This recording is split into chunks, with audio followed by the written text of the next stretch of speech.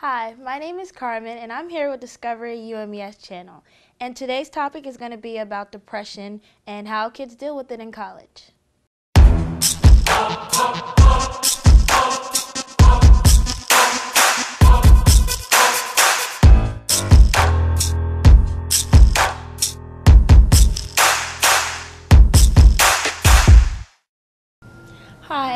And I'm here with Mr. Cedric Rashaw talking about college depression. First question for you is What is your official job here on campus? My job, I am a college counselor here at UMES. Um, I help students with every, whatever issue they, they are facing, um, whether it's like relationships or we cover, we help students with a variety of mental health issues. You know, while, and our goal as a college counselor is to make sure that the student um, has the correct resources to graduate on time. Okay, so I hear today is the National College Depression Screening Day. What exactly is that? The National College Depression Screening Day is a chance for students to take a depression screening and to see, let the counselor see what, what the student, where the student is at and how we can help them once we monitor the screening test. So, what's the overall goal for this day? Like, why do colleges do this? The goal is they is like students um, are apprehensive about coming to college um, to see a college counselor, but the screening helps the student um, identify their areas of depression, and that gives us a chance to look at the screening materials and get in contact with the student. Okay, so what are the different forms of depression? There are three several different forms of depression. Once you have a mild depression where the student is just depressed for an instant, um, a couple of weeks over an issue. Uh, moderate depression is a prolonged depression over, um, say, you're worried about a grades. And we have se severe depression where it's a lot of things going on and it's like kind of chronic. So, say you or a friend is dealing with depression, where do you go to get help? Um, first of all, it helps to talk, help this your friend identify um, that they have a depression, they're struggling with depression, and it helps to go to a counseling services or somebody they feel comfortable to talk to. That's the first step, getting out, not keeping it in. But I know going to a counselor and talking about like your issues are really scary thing. So, what should a student do to help like relieve the pressure of oh I don't want to go to the counselor because I don't want to look crazy or anything? Mm-hmm. Well, just the student can come get information. Um, if they're not, they don't feel comfortable with sharing that information, they can come get information from the college um, center and just read over the material that we offer, the services that we offer, and once they feel comfortable, they can make a connection, and then or we can go out and see the student if they don't feel comfortable coming to our office. Okay, and what are the warning signs for the most common depressions? Depression warning signs: you will see students shut down. Um, not active, low energy, no motivation, uh, a withdrawal from friends, family, things like that. So, of course, everybody thinks freshmen are the main ones that are going through depressions because freshmen are just so fragile these days okay. and coming into college. But honestly, which class it has the most occurrence for depression?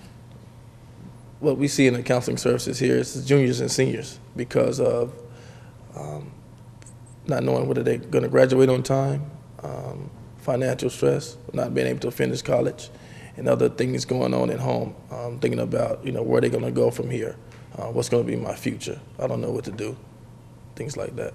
Okay, and what is the overall best prevention for depression? Um, there's several ways. We we all get stressed. Um, first, you have to talk about. Go to someone that you can trust and talk about it. Um, depression is treatable.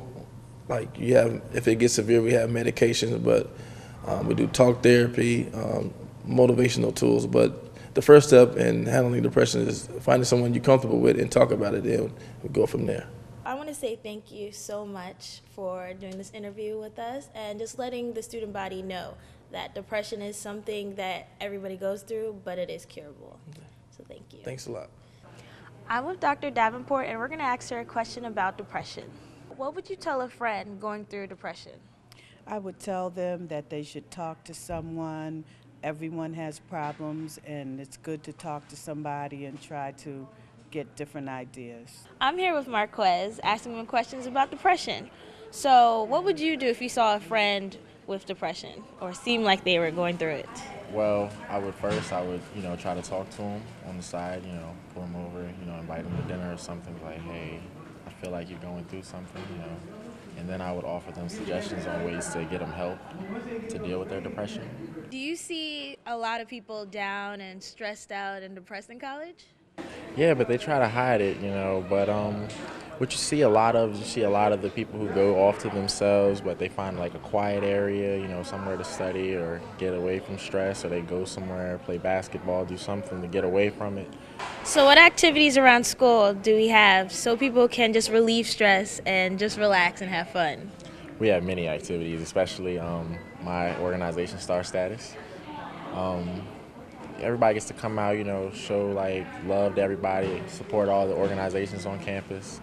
There's a lot of events coming up with SGA, CAB, um, Worth, a bunch of organizations just to come out and look. And then there's also parties, um, recreational activities, community service, a lot of things people can do to get involved on campus. Okay, thank you. You're welcome. I'm here with Ms. McConan, a new counselor here at UMES. What are some warning signs that you've seen with people with depression? Uh, so warning signs of depression would be um, sometimes they stop eating.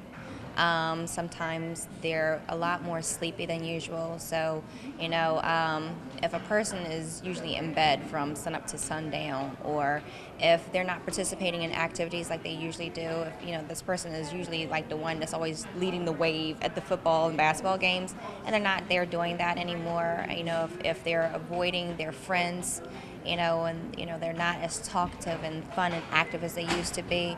Um, you know, if usually they're the first one in line when it's wingding day and they're not there eating those wingdings, you know, they're just not the person that they used to be.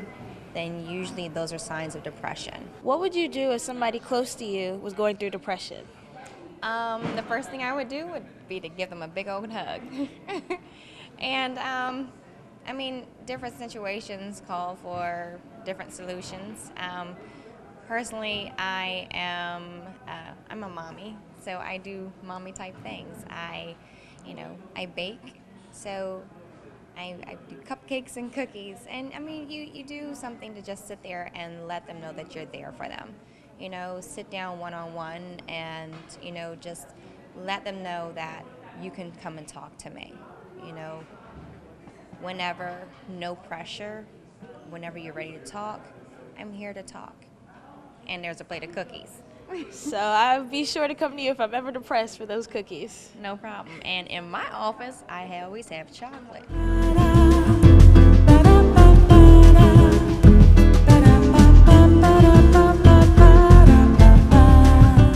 Today we met with Mr. Rashar and Dr. Davenport and a few other counselors and some students about depression.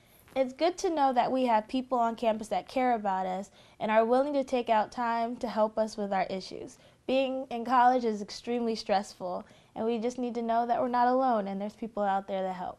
For more videos, you can visit us at youtube.com slash discoverUMES. See you guys next time.